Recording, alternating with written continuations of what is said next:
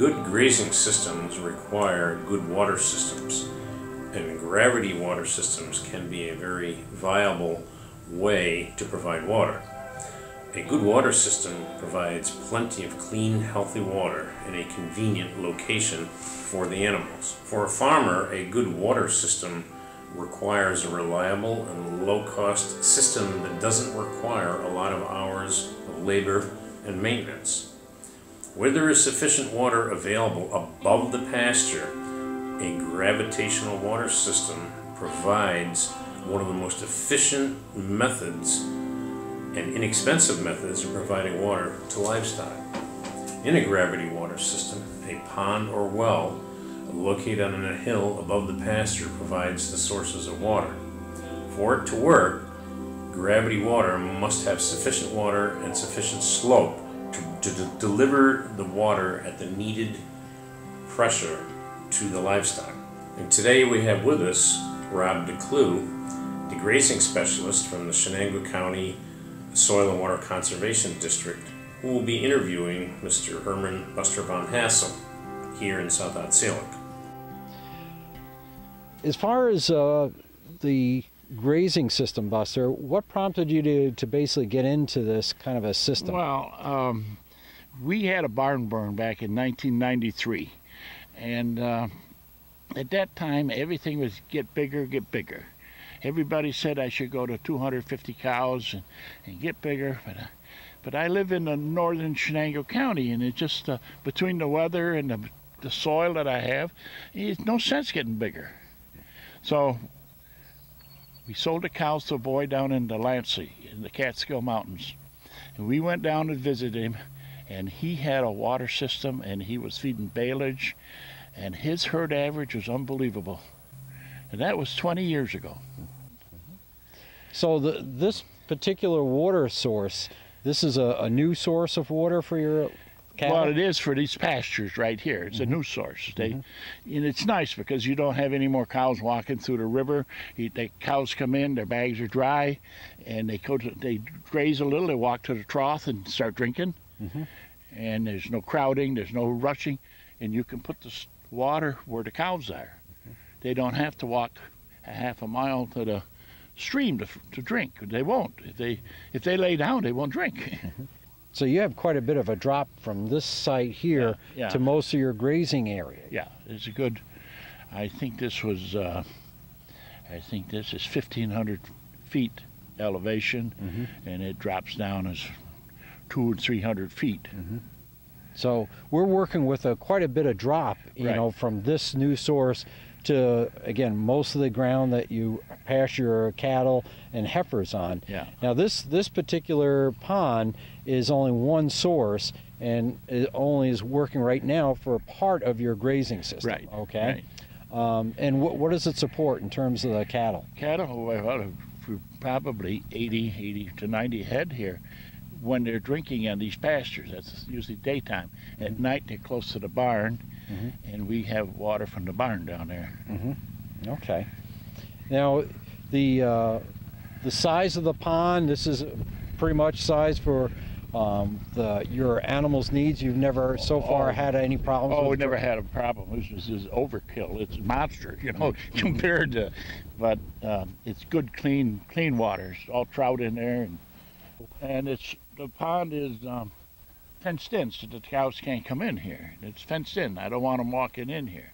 So they don't have access to the they the don't pond. have access. Never. No, they don't. This is. As far as the uh, getting the water out of the pond, can you describe what was originally designed to basically well, extract the water? We had a, um, a ditch dug here. We buried half of a septic system tank, the bottom half. And the water from the pond run into that through a ditch filled with gravel. And from there we went to another, we run a pipe underground to keep it from freezing. And from there we got a shut off. We can shut it on or off. And it goes to the tanks. It goes down to the tanks. And the, the pipeline to the tanks, uh, you know, is that buried or is it above it's ground? It's above ground. Okay. Usually, I got it written down. I think around the middle of November we shut it off. Okay. And then as far as the pipeline, it's above ground. Is that a concern in terms of, you know, the animals uh, squashing No, it or never, anything never, like that? Never. never. It goes lays right underneath the fence. Near What what size pipeline is it that goes down? It's an inch and a quarter. Inch and a quarter. Okay, so that's Yeah. pretty good sized pipeline. But we make all the fittings out of metal. We don't use plastic fittings Mm-hmm. because they have a tendency to crack and like that. But but you say you drain it once you, the animals are Every in every winter we drain it out. Okay, so you shut off the valve here Yeah, and then. shut the valve and it drains down. Okay. The size of the troughs. I mean, how are the troughs? Or what kind of material? Well, we put the troughs to start with underneath the fence so that half of it is in one pasture and half in the other. Mm-hmm. So you have ample flow into oh, the. all, all the water you want. Okay. You got, in fact, you got to watch what kind of uh, uh, valves you put in. You can't. Some of them, geez, you got to have different valves as you go down, with according to the amount of water pressure you have. So there's a certain kind of valve that works better Well, than another. one valve is we use the one on the top tank, and as you go down through, we have different valves. Okay. So as a pressure builds up, you, you, You find have- the need to yeah, use a, yeah. a kind of a different type Different of valve. valve. Okay. You know, again, what I was trying to bring out earlier is that you've always pastured. It's not like you know you were a total Oh confinement no, this, operation. this is all. This is just improving what I always done.